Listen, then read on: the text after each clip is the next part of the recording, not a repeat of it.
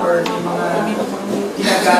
Dahil sa 10,000 pisong tubo kada buwan sa 200,000 investment, marami raw ang nainganyo sa bahay na isinasanla ng mga suspect na sina Catherine Gumarang, Melanie Langgito, Eufemia Robles, Jelin Tolete at Olivia Aquino.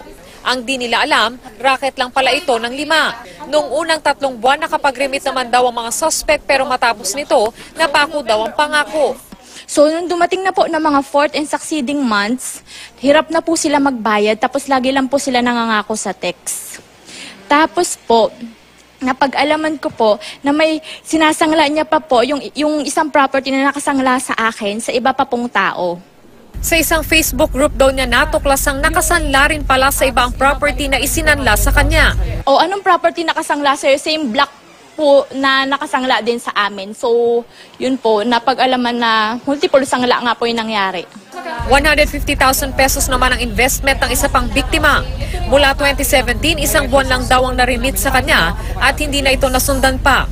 Sa social media din eh. Kasi yung mga ibang nagko-comment na meron na palang mga lumulutang na napagsanla ang iba, ibang tao. Pero noong Miyerkules, naaresto sila sa entrapment operation sa Santa Mesa, Maynila. Ayon sa mga pulis, isa sa mga biktima ang nakipagkita sa mga suspect para magbigay ng 280,000 pesos ng investment. Nung inabot na po yung pera at binilang, doon na po pumasok yung mga ah, operatiba po natin.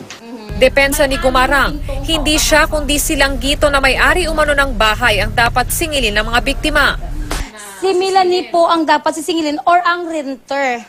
Pag hindi po sila nakakabayad, ako po yung ginugulo ng mga kinalayan nung pinag-ahintihan ko. Kaya po ako po mismo ang nag-aabuno. Silang gito naman nakikiusap pa rin sa mga biktima. Kinausap ko no sila, ma'am, na maghintay lang. Kasi gumagawa ako ng paraan. Ay, hindi po, hindi ako marunong mag-scam. Ngayon lang po, hindi ako nakapaghulog. Sa totoo lang. Isinailalim na sa inquest proceedings ang limang suspect na maharap sa kasong robbery extortion through entrapment at large-scale estafa. Von Aquino, GMA News.